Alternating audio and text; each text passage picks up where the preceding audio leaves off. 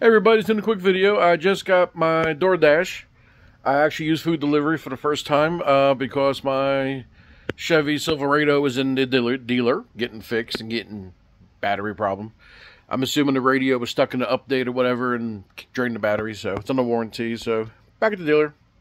Now, I like I said, I did DoorDash for the first time. Got my Taco Bell, and this is what I got.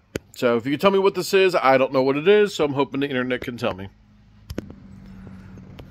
Don't know what it is. I just cut it into two pieces, but it's hard.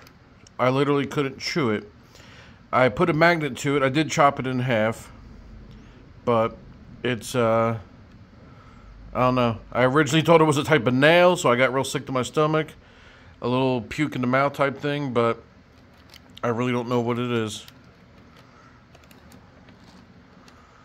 Yeah, I don't know what it is. So, if anyone works at Taco Bell could tell me, I appreciate you. Because that's legitimately got me a little sick to my stomach here. Have a great 2024. Hope your year starts off better than mine.